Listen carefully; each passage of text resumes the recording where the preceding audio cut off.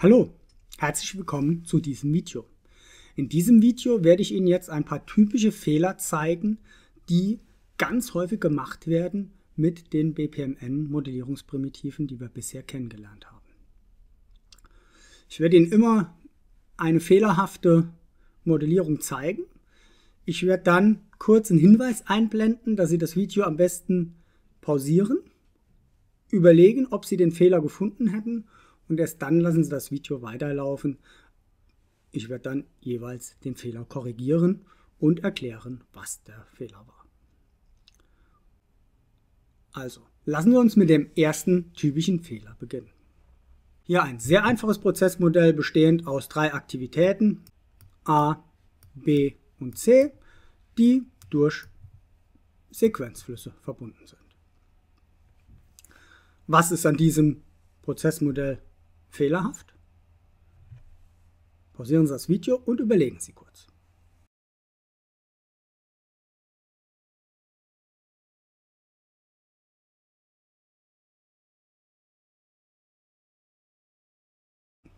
Ich denke, das haben Sie wahrscheinlich direkt gesehen. In diesem Prozessmodell fehlen die Start- und Endereignisse.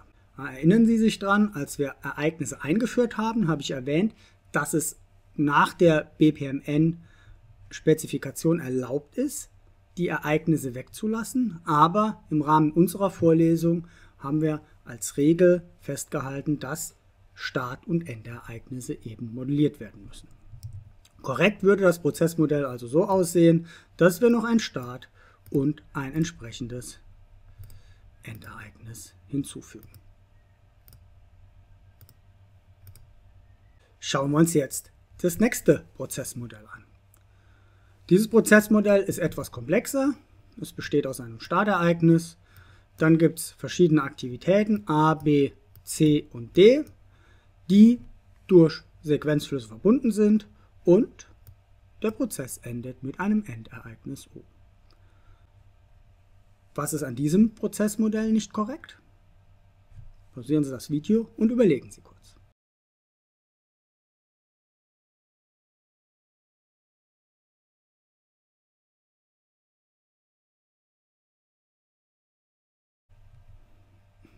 Was an diesem Prozessmodell nicht korrekt ist, ist, dass die Gateways fehlen. Auch hier wissen Sie, dass die BPMN-Spezifikation die hier dargestellte Modellierung erlaubt. Also es ist tatsächlich erlaubt, Verzweigungen ohne Gateways zu modellieren. Falls Sie sich daran nicht mehr erinnern können, schauen Sie sich bitte das entsprechende Video zu den Gateway nochmal an. Aber diese Modellierung führt dazu, dass die Prozessmodelle sehr schwierig zu verstehen sind. Insbesondere ist auch dieses Prozessmodell, wie es hier dargestellt ist, wahrscheinlich nicht das, was hätte modelliert werden sollen. Korrigieren wir das Prozessmodell mal, indem eben entsprechende Gateways eingefügt werden.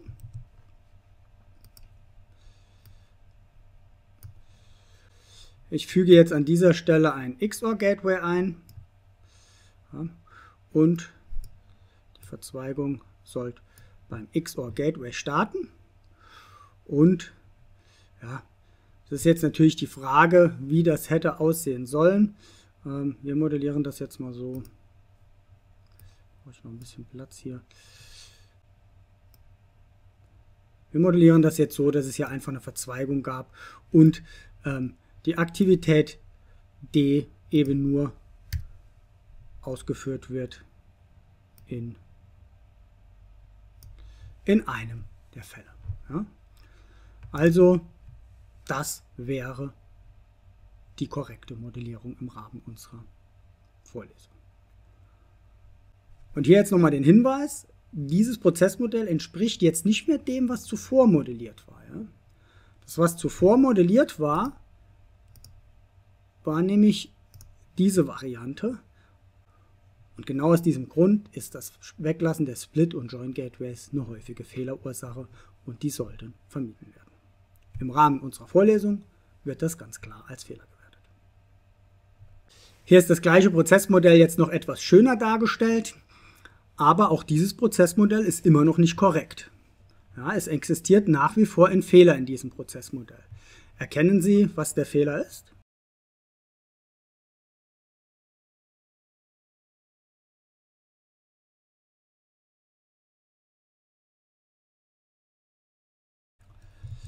Der Fehler in diesem Prozessmodell ist, dass an diesem XOR Split Gateway, also an dieser Stelle, eine Frage fehlt und außerdem die Bezeichnung der ausgehenden Sequenzflüsse.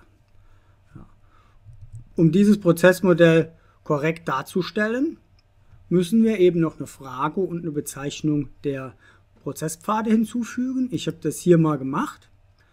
Das schon vorbereitet. Also zum Beispiel könnte hier die Frage sein, ist der Betrag größer als 1000 Euro? Wenn er kleiner als 1000 Euro ist, wird dieser Weg genommen. Wenn er größer als 1000 Euro ist, wird der obere Weg genommen und die Aktivität D durchgeführt.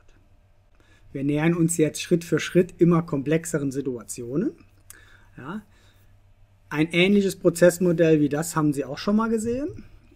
Das Prozessmodell stellt eine Situation dar, wo der Prozess startet. Es wird eine Aktivität A ausgeführt. Danach gibt es ein XOR Split Gateway.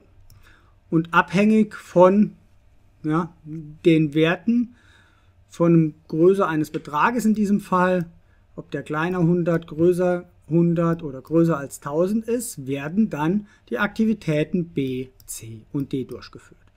Danach gibt es in XOR Join Gateway, die Aktivität E wird durchgeführt und der Prozess ist beendet.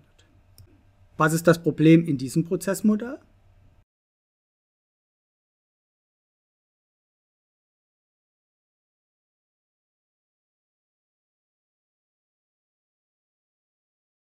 Das Problem in diesem Prozessmodell ist, dass die Entscheidungsalternativen beim XOR Gateway nicht sich gegenseitig ausschließen. Ja? Also wir haben hier zum Beispiel größer gleich 100 und größer 1000. Also wenn jetzt ein Betrag von 5000 Euro kommt, sind beide Prozesspfade möglich. In diesem Fall hängt das dann von der Implementierung der ausführenden Engine ab, welcher Prozesspfad verwendet wird. Das ist also nicht deterministisch ähm, und sollte deshalb vermieden werden. Wie könnte man das vermeiden? Wir können das zum Beispiel vermeiden, indem wir hier ähm, sagen, dass der Betrag größer gleich 100 und kleiner gleich 1000 sein soll. Dann schließen sich die beiden Prozesspfade oder dann schließen sich alle Prozesspfade gegenseitig aus. Das ist jetzt natürlich ein semantischer Fehler des Prozessmodells. Das heißt, die, syntaktisch ist das Prozessmodell korrekt. Ja, dieses Prozessmodell könnten Sie deployen in eine Prozessengine und ausführen. Sie wissen dann halt in bestimmten Situationen, nämlich bei den entsprechenden Beträgen, nur nicht, was passiert. Und hier kommt das nächste Beispiel. Was ist an diesem Prozessmodell nicht korrekt? Wieder das Video pausieren und kurz selbst überlegen.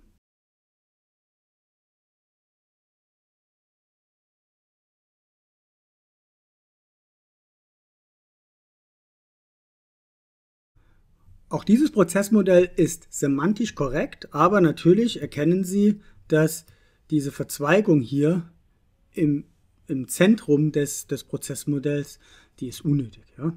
Also in beiden Varianten, ob der Betrag kleiner oder größer als 1000 Euro ist, wird immer das gleiche ausgeführt, nämlich nichts. Von daher ist das eine unnötige Komplexität und man könnte die eben entsprechend entfernen somit das Prozessmodell vereinfachen und es deutlich einfacher verständlich machen. Das Prozessmodell würde dann so aussehen und hat genau die gleiche Aussage wie das Prozessmodell zuvor. Kommen wir zu dem nächsten Beispiel. Das ist jetzt ein etwas komplexeres Beispiel. Der Fehler ist vielleicht nicht mehr so einfach zu erkennen. Wie sieht der Prozess aus? Der startet mit einem Start-Event. Danach kommt die Aktivität A. Es kommt ein XOR-Gateway. Abhängig von der Antwort wird B und C ausgeführt. Dann kommt ein Join-Gateway. Dann die Aktivität D. Ich weiß, dass an diesem Split-Gateway keine Frage modelliert ist und keine Alternativen an den beiden Pfaden. Das ist aber nicht die problematische Eigenschaft dieses Prozessmodells.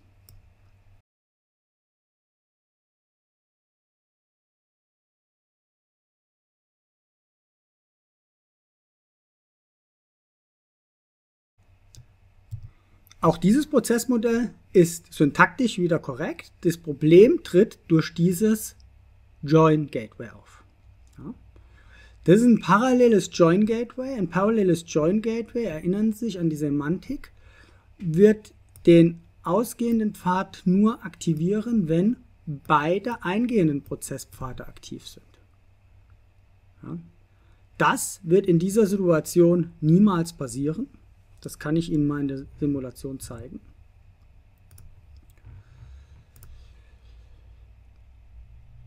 Na, jetzt wurde der obere Pfad gewählt und jetzt steht ein Token an. An dem Join Gateway. Es wird aber niemals ein weiterer Token ankommen, weil in dieser Prozessinstanz eben hier ein XOR-Split stattgefunden hat. Und somit ja, haben wir hier eine Situation, dass es ein Prozessmodell ist, das nie zu Ende ausgeführt wird. Also das Prozessmodell ist syntaktisch zwar korrekt, aber semantisch falsch. Wir, werden hier, wir haben hier ein Prozessmodell, das niemals zu Ende ausgeführt werden kann. Wie können wir den Fehler korrigieren? Auch das ist relativ einfach. Ja, wir können hier ein XOR Join Gateway verwenden. Und wenn wir jetzt diesen Prozess nochmal simulieren, werden Sie sehen, dass er jetzt auch zu Ende ausgeführt werden kann.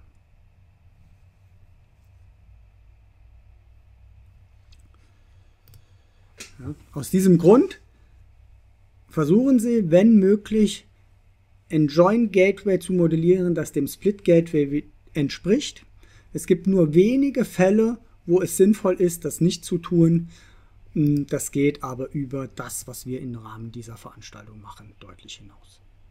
Wieder zurück zu einem sehr einfachen Prozessmodell. Was ist an diesem Modell nicht korrekt? Ja, das Prozessmodell beginnt mit einem Startereignis. Danach gibt es eine Aktivität, alle Bücher zurückgeben und danach ist das Prozessmodell beendet, weil es ein Endereignis gibt. Was an diesem Modell nicht korrekt?